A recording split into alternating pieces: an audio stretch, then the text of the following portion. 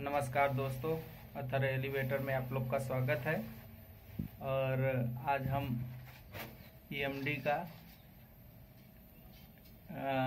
Eight triple zero आठ हज़ार manual lift है। उसका एक कंट्रोल पैनल है और ईएमडी का ही ये आपका एआरडी है। आज मैनुअल का और एआरडी का कंट्रोल पैनल का वायरिंग हम बताते हैं। देखिए, इधर से आपका एमसीबी से आउटपुट निकलेगा और यहाँ इनपुट में जाएगा और इनपुट से निकल के ये इनपुट आउटपुट निकल के आपका उधर के एमसीबी में जाएगा। ठीक है? और देखिए बारह बोल्ट जो है, इधर बारह बोल्ट है, ये आपका बारह बोल्ट में चला जाएगा एक वायर, ठीक है? एआरडी का एक वायर, बारह बोल्ट का बारह बोल्ट में चला जाएगा, ठीक है? और दूसरा वायर है डीजेट का, ये डीजेट है डीजेट का दूसरा वायर यहाँ डी ऑफ़ में जाएगा। ठीक है? डी ऑफ़ लिखा है ना? चार नंबर। डी ऑफ़ में जाएगा, डीजेट। ठीक है?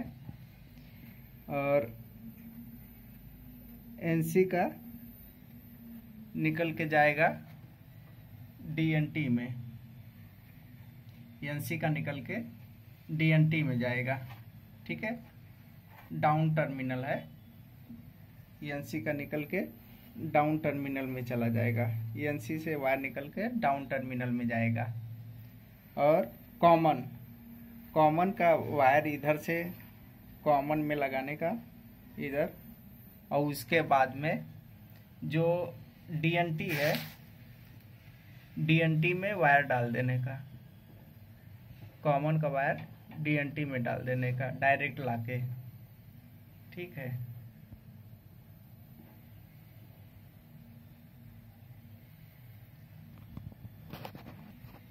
हाँ देखिए कॉमन का वायर इधर है कॉमन है कॉमन का वायर डीएनटी का वायर निकाल के जो पहले का डीएनटी में डाले रहेंगे, वो वायर में कॉमन वाला लूप होगा, ठीक है? और एनसी का वायर डीएनटी में चला जाएगा। ये जो वायर है, ये आपके एआरडी के एनसी में लगा है। ये जो ब्लैक के बगल में ये रेड वाला है, ये वाला A R D K N C में चला जाएगा। और जो पट्टा केबल का वायर रहता है डी एन टी का, उसको निकाल के और ये लूप हो जाएगा कॉमन से।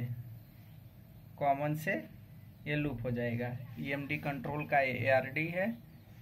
ए आर डी है। और ये कंट्रोल पैनल है। अगर वीडियो अच्छा लगे प्लीज़ सब्सक्राइब करिए हमारे चैनल को और भी आगे पैनल के बारे में हम बताते रहते हैं।